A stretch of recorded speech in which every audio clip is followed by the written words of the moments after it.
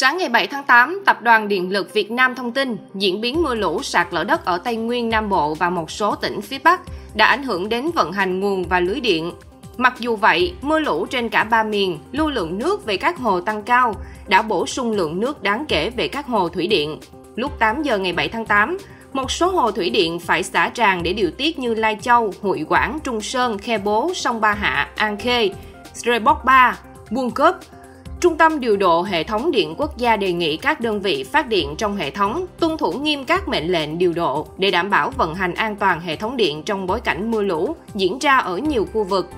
Tại Yên Bái, khu vực nhà máy thủy điện Hồ 4 có lũ quét mạnh, sạt lở đất, gây sự cố đường dây 110 kV và trụ sở làm việc của nhà máy thủy điện Hồ 4, huyện Mù Căng Chải bị mất điện do sự cố tại 80 trạm biến áp. Tại Sơn La, một số cột điện, một số đoạn đường dây 35 kV tại các huyện Mường La, Quỳnh Nhai bị vùi lấp, gãy đổ, gây ảnh hưởng đến cung cấp điện cho một số khách hàng tại khu vực. Dự kiến khôi phục cấp điện lại vào ngày 9 tháng 8. Tại Lai Châu, một số tuyến đường và đồi núi tại khu vực Bản Mùi bị sạt lở, gây sự cố đường dây 35 kV tại Bản Mùi, làm mất điện 5 trạm biến áp.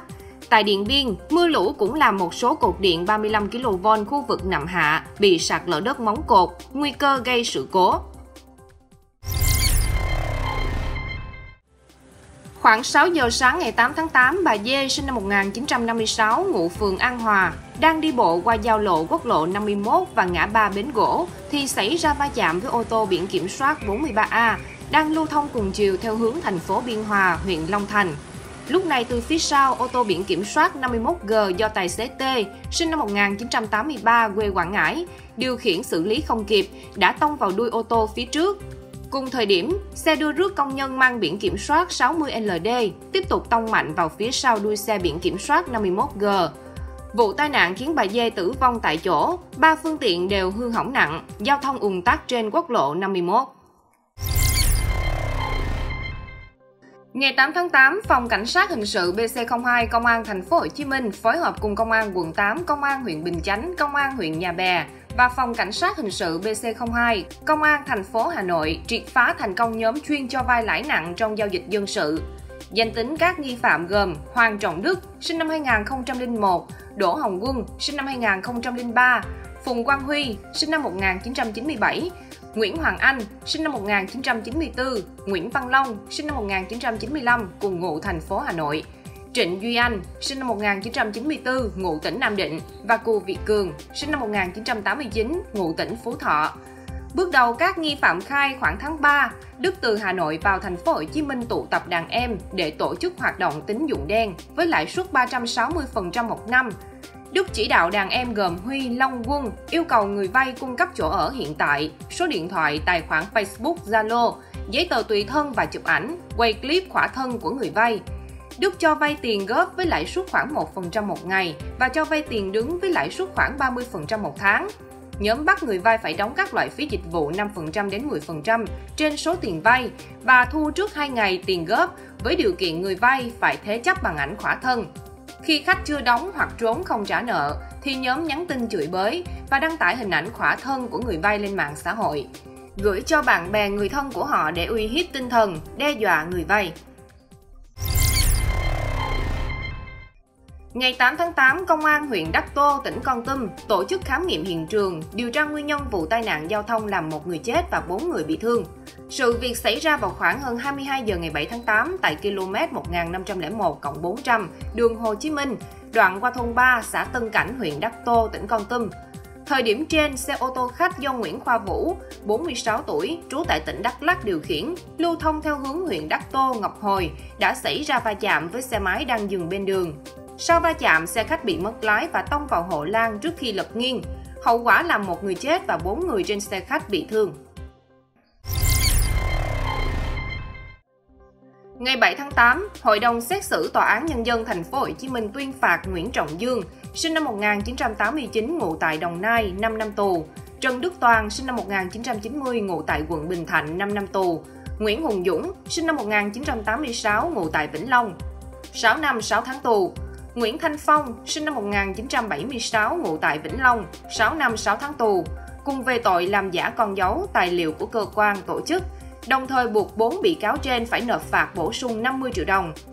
Cùng tội danh trên, 14 bị cáo còn lại bị tuyên từ 3 năm hưởng án treo đến 4 năm tù, buộc các bị cáo nộp lại số tiền hưởng lợi bất chính. Theo cáo trạng, chiều ngày 25 tháng 8 năm 2020, Cục Cảnh sát Hình sự Bộ Công an bắt quả tang Võ Thanh Sơn đang có hành vi giao giấy tờ giả, gồm 7 giấy phép lái xe, 4 căn cước công dân và 2 giấy đăng ký xe ô tô cho Nguyễn Minh Tuấn. Làm nghề chạy xe ôm để mang đi tiêu thụ, công an cũng thu giữ 50 loại máy móc các loại phục vụ cho việc làm giả. Trong thời gian từ cuối năm 2017 đến lúc bị bắt, các đối tượng đã làm giả hàng chục ngàn giấy tờ các loại để bán cho nhiều người ở khắp các tỉnh thành trên cả nước. Mở rộng điều tra, lực lượng chức năng đồng loạt khám xét 8 địa điểm tại thành phố Hồ Chí Minh và Đồng Nai, đã thu giữ hàng ngàn tang vật gồm bằng lái xe, biển số xe các loại, chứng minh nhân dân, thẻ căn cước, bằng đại học, bằng ngoại ngữ, giấy đăng kiểm, thẻ nhà báo. Ngày 8 tháng 8, Ban Quản lý Dự án Thăng Long, đơn vị chủ đầu tư cho biết đã có báo cáo gửi Bộ Giao thông Vận tải về sự cố ngập cục bộ trên đường cao tốc phạm vi km 25 419 thuộc gói thầu 2XL. Dự án cao tốc đoạn Phan Thiết Dầu Dây, theo Ban Quản lý Dự án Thăng Long, nguyên nhân bước đầu xác định gây ra ngập cục bộ mặt đường cao tốc Phan Thiết Dầu Dây là do mưa lớn trong thời gian ngắn. Nước sông Phan dâng cao chảy ngược vào hạ lưu cống km 25 419, kết hợp nước từ thượng lưu không thoát được qua cống, chảy tràn lên mặt đường. Để tránh tái diễn tình trạng ngập trên cao tốc, đơn vị tư vấn thiết kế đề xuất giải pháp trước mắt là khẩn trương thanh thải lòng sông Phan, chặt cây, thanh thải đất sạt lở, phạm vi từ hạ lưu cống km 25 419 trên sông Phan đến hạ lưu cầu sông Phan.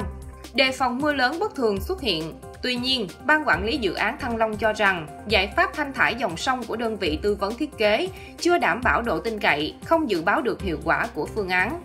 Để đảm bảo tính khách quan minh bạch cũng như tìm ra nguyên nhân chính xác của việc ngập nước để có giải pháp triệt để, Ban quản lý dự án Thăng Long sẽ cùng với các bên liên quan tổ chức thuê đơn vị tư vấn độc lập, chuyên ngành về tính toán thủy lực, thủy văn để khảo sát tính toán làm cơ sở đề xuất phương án đáp ứng yêu cầu kỹ thuật, báo cáo trước ngày 20 tháng 8.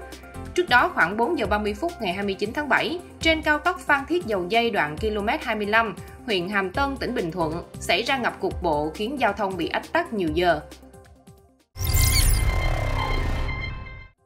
Ngày 8 tháng 8, Công an huyện Yên Thành, Nghệ An đã khởi tố Thái Văn Sơn, 56 tuổi, trú xã Long Thành về tội vi phạm quy định về bảo vệ động vật nguy cấp quý hiếm.